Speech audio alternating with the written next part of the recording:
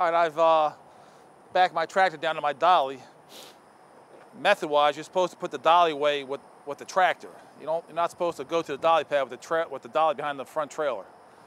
That's just not the way it's done, where uh, you're gonna want them getting hurt. And that's how the dolly pad gets all messed up. You got dollies every which way but loose.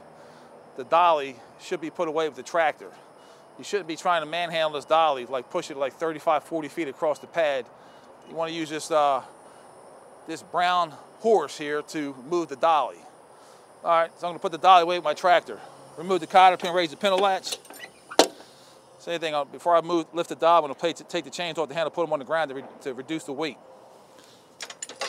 Without a, and uh, keep them out of the way so you don't cause a tripping hazard.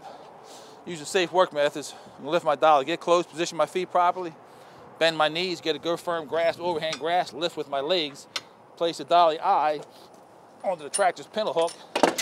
Obviously, you want to keep your hand away from this pinch point. Close the pintle latch, insert the cotter pin.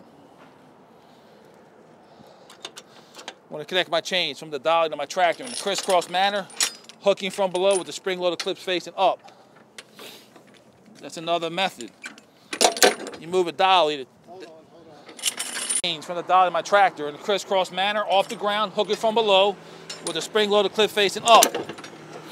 Once again, the reason for the crisscross is so the chains would act as a cradle if the dolly came off the pintle for some reason. It would rest on top of the chains, keep it from dragging the ground. Clips are facing up to prevent any kind of road debris from kicking up and knocking a clip off this loop. The method is you're supposed to have the chains connected to the tractor and the light cord plugged in, even if you move, no matter where you move the dolly, even, even if it's on property.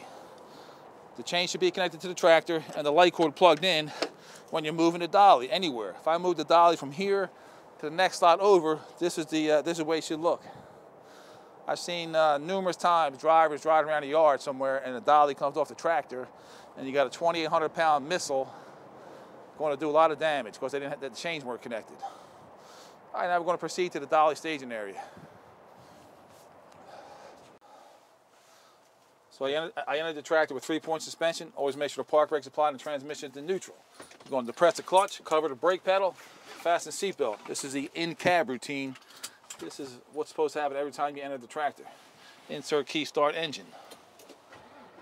Once again, whenever you start a tractor up, you should, you should make sure the oil pressure is rising within the first five seconds.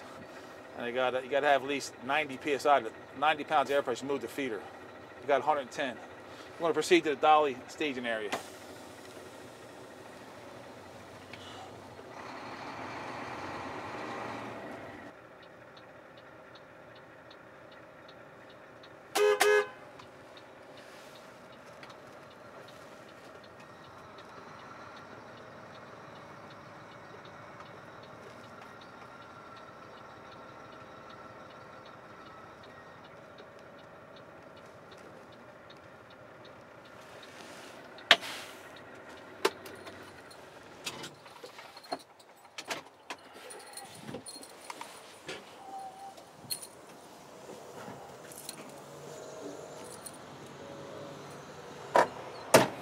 Okay, I just back my dolly in at the dolly pad.